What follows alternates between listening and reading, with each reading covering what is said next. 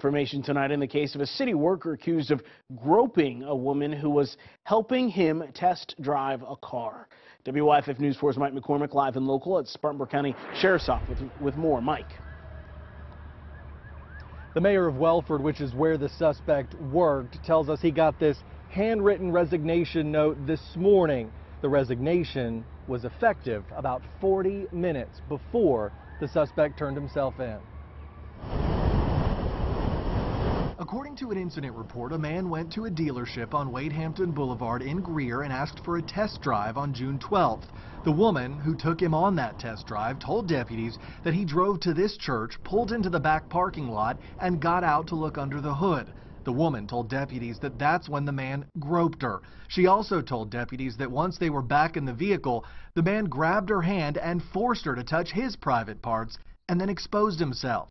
After the investigation, deputies arrested Joel Owensby. It's my understanding the only part he did not confess to was exposing himself to the victim. Lieutenant Kevin Bobo with the Sheriff's Office says despite the partial confession, some people in the community are questioning the victim's story. From reading some of the comments that viewers or people on Forest website have called in who want to armchair quarterback this incident, I would have done this, I would have done that.